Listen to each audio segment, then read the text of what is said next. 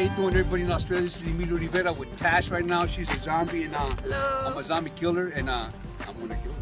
What did you do with Gaza? I entered the code that they had every week on the show when you watched it, and then I just entered it online with my details, my phone number, and everything. And then after that, I just won it. They rang me up.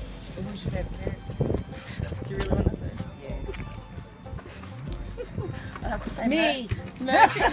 Murphy, because my I know, son. I know. Oh, no, Oh, why? my son is four going on five. He actually loves Murphy. He loves Murphy. Loves Murphy. Oh, good. I thought you were going to say Because he loves zombie. That's the only reason. oh, well, congratulations. Welcome. Thank you. Yes. Yeah.